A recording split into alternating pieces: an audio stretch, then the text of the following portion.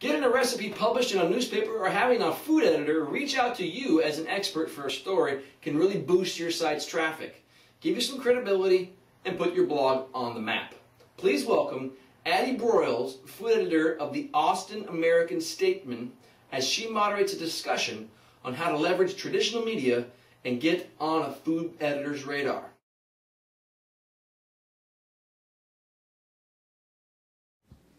So this panel is leveraging traditional media. Kat, would you call yourself traditional media?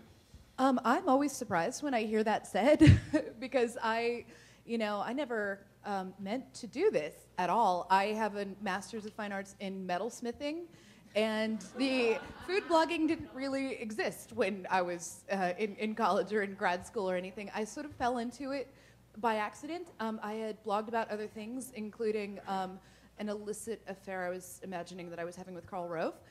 And, uh, and uh, various other things to uh, political satire bits. And um, I was an art director for the first 10 years of my career. And I was always just the art director who happened to really, really like to eat. Oh, go ask Kat. She probably knows where to go to eat. She knows something. And um, eventually the polarities flipped, and, and here I am. So I wouldn't say necessarily traditional. CNN's traditional. CNN is the parent of Eatocracy, and I would say that they are, but um, I'm not. Nothing about you is traditional. Um, but I was thinking about in preparation for this panel that it's just as likely that all of us would be at some sort of traditional media conference saying how to leverage bloggers for your beats. Because I think all of us, the reason why we're here is that we are open to working with bloggers and new kinds of ways of just interacting with our community. So um, if maybe we can start with Rene, you can sort of talk about what the blogging community is like in LA and, and how you work with them. Uh, we have a terrific uh, blog community in LA. Uh, it's really thriving. Although I hear there's so many food bloggers here in Austin, so me, Austin may give LA a run for its money.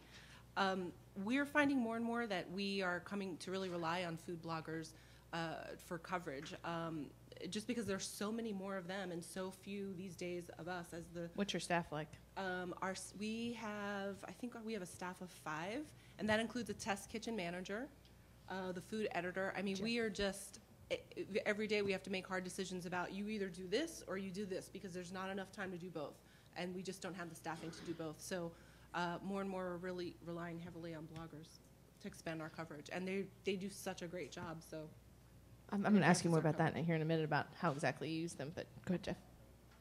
What should I say? What do you do? Oh, I mean, tell, tell me what the blogging community is like. You said something interesting last night about the community in Tampa. Yeah, it's real tight. It's um, Tampa isn't really known as a sort of a, a tech savvy kind of place, but there's a real nice, warm um, sort of community there of, uh, of people who sort of support each other. Um, and you know, it's not very large, but it's very intense. I'm actually tonight. I'm missing. They call it a reunion where they're bringing a bunch of food uh, food bloggers together uh, at somebody's house. They're having like a, a potluck kind of thing. Um, so it's not just online. They're they're you know uh, in real time kind of people, but um, they all kind of are learning at the same speed and, and sort of graduating to the next level. Um, and we've tried to sort of tap into that by bringing some of them into the newspaper as columnists, uh, sources and stories, um, you know, trying to get to that energy level and, and harness that. Um, you know, as on the newspaper side, you don't always have uh, a lot of tech savvy people, but at the same time, it would be ridiculous to underestimate. Uh, you know, I call them my neocons out in Sun City Center. Um, you know, they, they've harnessed enough technology to communicate with their grandchildren and their children in, in faraway places, and they've taken that dip into food land.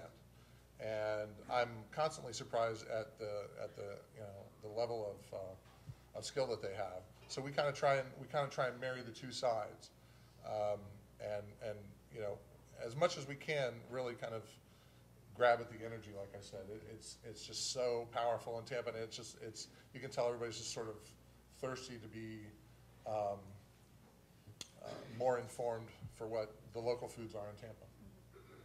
Kat.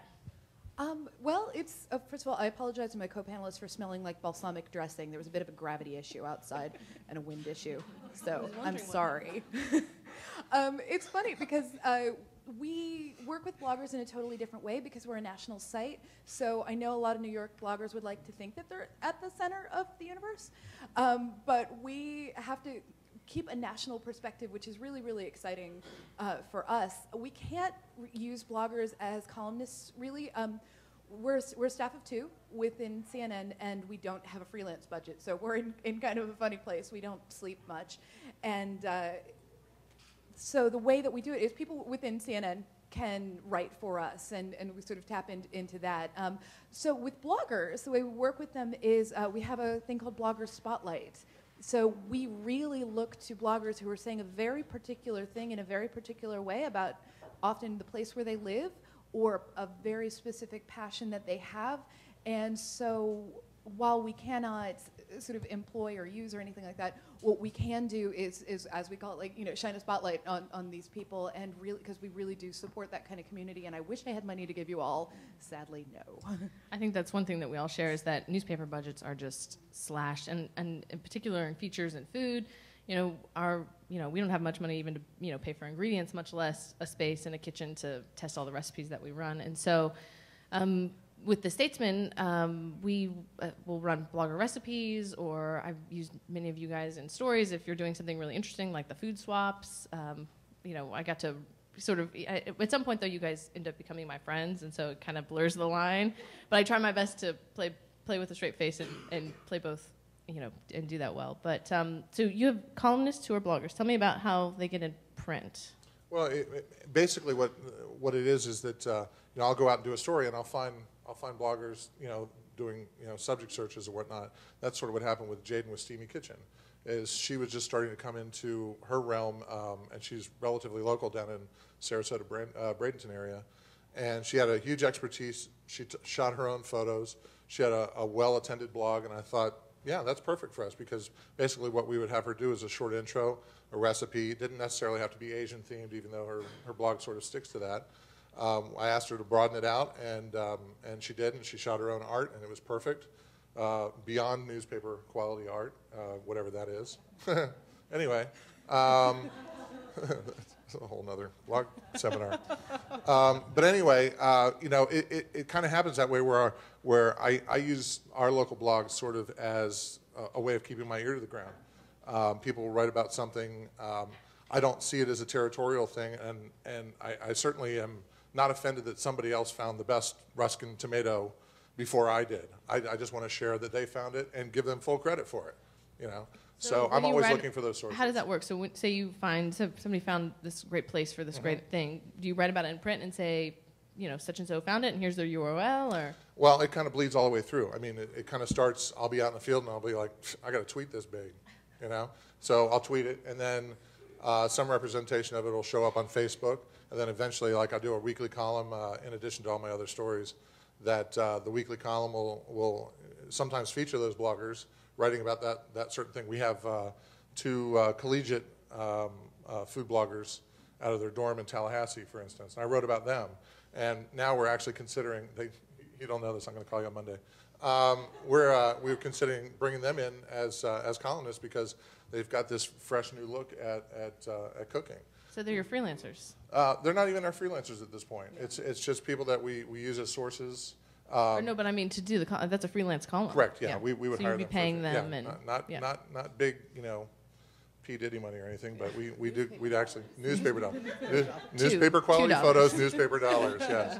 But yeah, we would we would pay we pay them as, as contractors. rene how do bloggers in la either get their byline in the paper or get used to sources You know, it's very hard to, to, for bloggers to get their byline in the paper. I think that there's still a resistance to, um, uh, to doing that, unfortunately. But we are making some inroads. I, I, I think that's a great, I, I, I think it's great to get as many voices as possible in the paper. So uh, one of the things that I've been doing is um, uh, we're doing a reader recipe swap. Um, we are asking people if they uh, make one of our recipes from our test kitchen to photograph it, and if they write a blog post about it, I then link to that. Last week, I feel like I had a personal victory. I had uh, I convinced them to put a blogger's photo in the paper with a little mention, which I know that may not seem like a lot, but for us, I was just like, yes, because it was a beautiful photo. I mean, it was just an outstanding piece of art, um, and it was a recipe that we had made. So um, I'm hoping that people will do that more and more, that they'll uh, try our recipes and then let us know how it turned out. And it doesn't have to be good or bad. This person took the recipe and it actually changed a lot of things, and that was fine by me. Um, so uh, we try to do um, a lot of linking online. So much of it is is online at this point. Hopefully, we'll start making some inroads. The problem is our section can be so tight. We used to have a two-section food section. Now, sometimes our f- food section is four pages.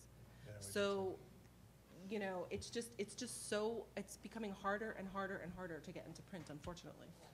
But I, that's one thing I feel like probably all of us become advocates for you guys, and and oftentimes we are facing editors who who do have their doubts about either the quality of the recipes. I remember when I first started running these recipes, my editor, who's not my editor now, different guy, was just like, "Well, how do we know that they didn't just make it up?" It's like there's there's a level of trust there that and that and that's where I think you guys can start to reach out with the food editors or traditional media in your communities to form a relationship with them so they don't th- just you know you're not just some other person online who happens to post up a list of ingredients and directions. I mean I I trust what you're doing because you're putting so much time and effort into it. But I feel the same way about the photos. They just they were freaking out at the beginning when I pitched that, but now they're much more willing to do it and plus you guys take great pictures. So One of the concerns eh, with, with bloggers, at least in our newsroom, is that we have to abide by a very strict code of ethics, and there's a concern that perhaps bloggers aren't doing the same thing. Not that you're doing anything illegal, but if you, for example, I, I had a blog post about somebody who um, wrote about uh, Nutella, and she had a picture that had the jar of Nutella in the picture. And I can't tell you how many editors were stopped it and said she must be getting money from Nutella. And I went I, before I even pitched it. I said, "Are you anyhow in any way related to them?" But that is a concern. If we somehow put that in the paper and somehow it came out that she was getting some kind of an endorsement or something from Nutella, it would be a disgrace. So there's there's a feeling of, well, how do I know that you're not taking money from the people that you're writing about, or how do I know that, you know, that you don't have some cozy relationship, or even that that's your best friend, um, and that people feel very. So how do you prove about. that? How, do, how can they prove that to you? Um, I think that you can do that in your about page. Like if you just be very forthcoming with what types of relationships you have, um, and then when it's all transparent, then I, I don't really think there's an issue once it becomes transparent. Then I mean, can make that disclosure is, I'm sure, have, has come up a lot today and will tomorrow, just about when because people are going to be approaching you more and more as, as bloggers gain recognition. Um, sponsors, potential sponsors, uh, you know, products, marketers, say junkets. Junkets. That I mean, that it's hard to turn down a free trip to Bermuda, or Europe, or Portugal for a wine tour.